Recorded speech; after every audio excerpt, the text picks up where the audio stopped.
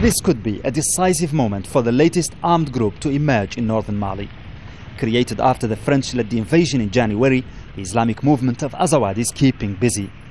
Its fighters are here patrolling outside the city of Kidal under the leadership of this powerful tribal chief. Sheikh Ousa is a veteran of Arab-Israeli wars in Lebanon and a former leader of several armed movements in northern Mali.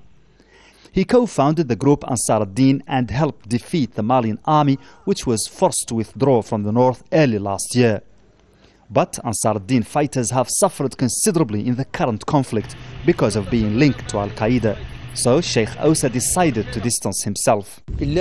What made us change our name from Ansar Deen to the Islamic movement of Azawad is that the world had begun to wage war on Ansar Deen as part of Al Qaeda. In fact, we have no problem with the outside world. Our war is against Mali.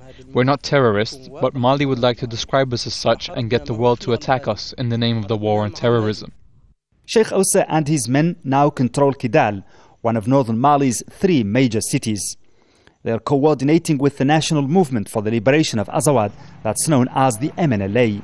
Both groups are dominated by ethnic Tuareg, but they differ in ideology. The MNLA is a nationalist secular movement that wants independence from Mali. The Islamic movement of Azawad, on the other hand, combines nationalism and religion in its political agenda. Like the MNLA, it wants independence, but like Ansar ad-Din, it wants the new state to be ruled by Islamic law.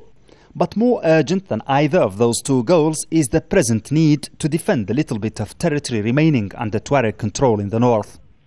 Kidal is the only major city they still hold and is in a high state of alert.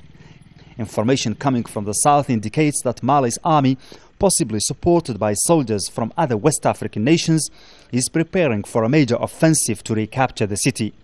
Sheikh Ousa is revered here for never having lost a battle.